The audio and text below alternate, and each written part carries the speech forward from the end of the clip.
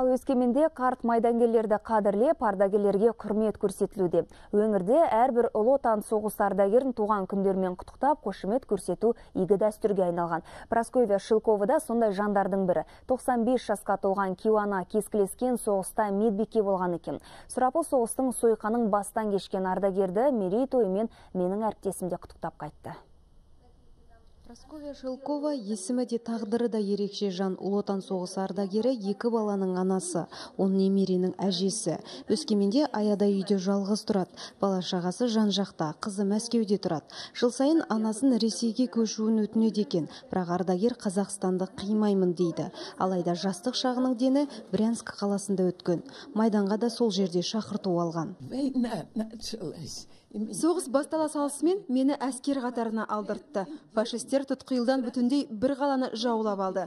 Олар шапшаң қимылдай бастады. Сондықтан мен ұрыстың бірінші күнінен бастап жауынгер атандым.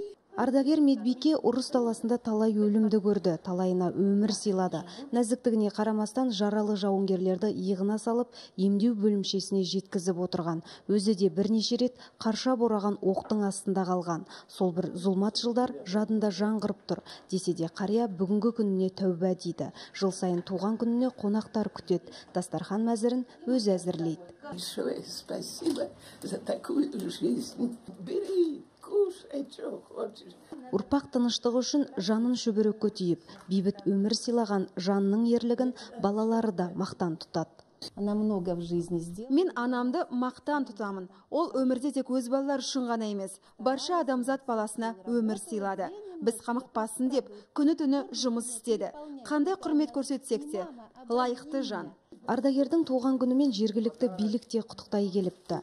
Қала әкімдігі 9 мамыр ұлы жеңіс күні қарсаңында қарттың үйіне жөндеу жұмыстарын жүргізіп береміз деп уәде берді.